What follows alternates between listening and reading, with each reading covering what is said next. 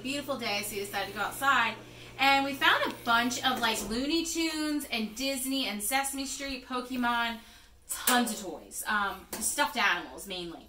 And uh, we put them through the wash, one cycle. And unfortunately, some of the Beanie Babies didn't make it. Um, so I'm trying to get off some of the fuzz and I'm trying to, you know, clean off some of the beads.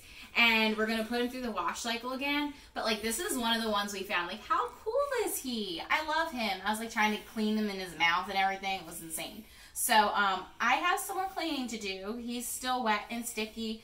But I have an entire bin full of toys I need to vacuum.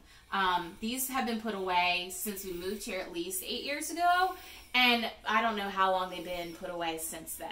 But some of these my husband's 25 year old played with and had when he was a baby. So that's how old they are. So I'm going to back to cleaning these toys and I will show you some of the results when we're done.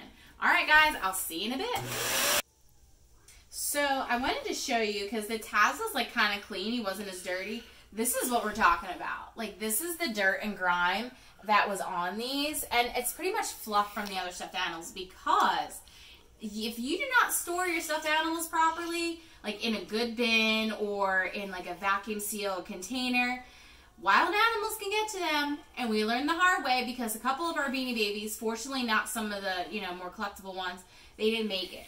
Um, and we had a bunch of beanie babies that it, it just looked like a massacre. So um, we already put these through one cycle. We're going to put these through again another cycle. But I just kind of wanted to show you what they look like. And I've just been sitting here vacuuming them off. I mean, look at Grover. He looks pretty nasty. And the Wile E. Coyote looks pretty nasty too. So um, kind of just figured you want to see what they look like before they were kind of clean. So I'm going to go back to work.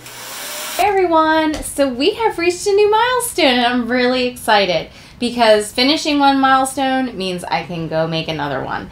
So I would like everyone to make sure that they're continuing to comment, like, and subscribe on the page and get your friends and family to do it too. Um, because the more the channel grows, the more fun stuff we get to do. So I wanted to let you guys know um, we're going to still do giveaways and such um, with the comments. And the comments have been reset um, at the 150 mark. So any videos after January 10th is how we're going to count the comments going forward. So make sure you're commenting on the new videos that are coming out.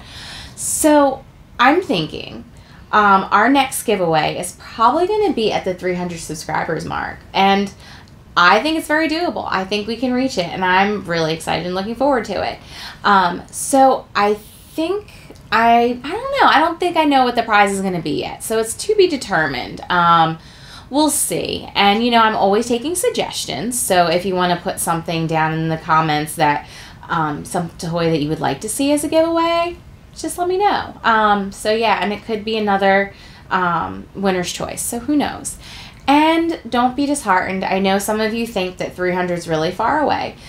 But who knows? I may just do a random giveaway in the middle just because I like doing giveaways. So stay tuned. I may like put a secret word in a video that if you are the first one to find the hidden word, then you get a, a toy or get a prize. So who knows? So stay tuned. Um, and I appreciate you guys as always and help me reach my next milestone. I'll see you soon.